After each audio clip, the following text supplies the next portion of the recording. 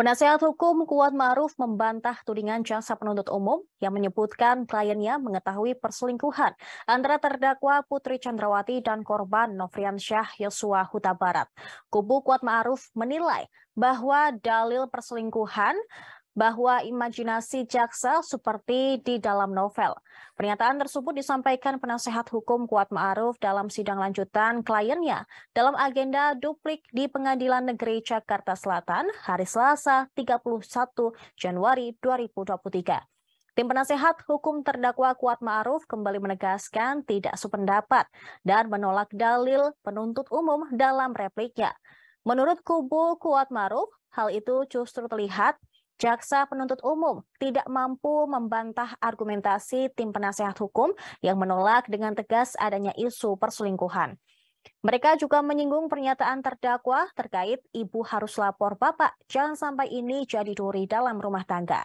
Kuasa hukum Kuat Ma'ruf menegaskan bahwa itu bukanlah pernyataan kliennya yang mengindikasikan mengetahui adanya perselingkuhan antara putri dan korban Brigadir J.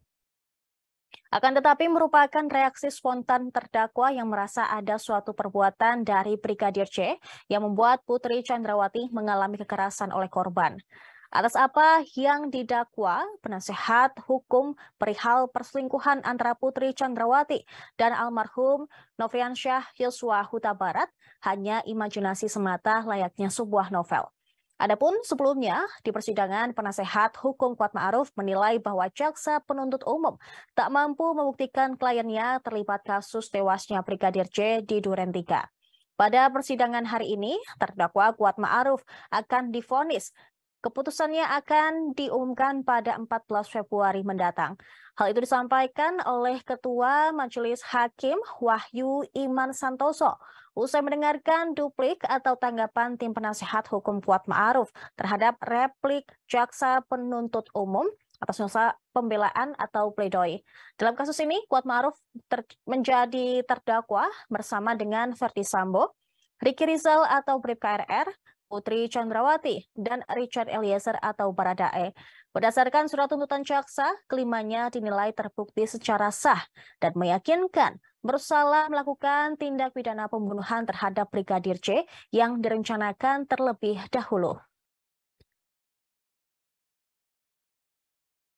Perihal tuduhan perselingkuhan antara saksi Putri Chandrawati dengan korban Nofriansa Joshua Huta Barat hanya imajinasi penuntut umum bahwa kami tim penasihat hukum terdakwa Kuat Ma'ruf kembali menegaskan tidak sependapat dan menolak dalil penuntut umum dalam repliknya yang menyatakan bahwa uraian mengenai adanya perselingkuhan antara saksi Putri Chandrawati dan korban sudah jelas dan lengkap. Justru terlihat penuntut umum tidak mampu membantah argumentasi tim penasihat hukum yang menolak dengan tegas adanya isu perselingkuhan. Pada faktanya tidak ada fakta dan bukti persidangan ataupun petunjuk yang mampu menjelaskan bahwa adanya perselingkuhan tersebut. Halayak yang menyaksikan persidangan pun menjadi saksi atas hal ini. Lalu pertanyaan kami, dari mana penuntut umum mengambilnya? Bahwa terkait dengan pernyataan terdakwa yang disampaikan dalam persidangan yang menyatakan, Ibu harus lapor Bapak, jangan sampai ini menjadi duri dalam rumah tangga, bukanlah pernyataan yang mengindikasikan terdakwa mengetahui adanya perselingkuhan sebagaimana dalil penuntut umum. Akan tetapi pernyataan tersebut merupakan reaksi spontan dan natural dari terdakwa yang merasa adanya suatu perbuatan dari daripada korban yang telah membuat saksi saksi Putri Chandrawati mengalami kekerasan yang dilakukan oleh korban.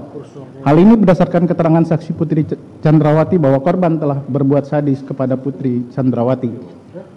Oleh karena itu terbukti dan jelas dan terang bahwa dalil penuntut umum mengenai adanya perselingkuhan antara saksi Putri Chandrawati dan korban merupakan imajinasi penuntut umum layaknya seperti muncul sebuah novel.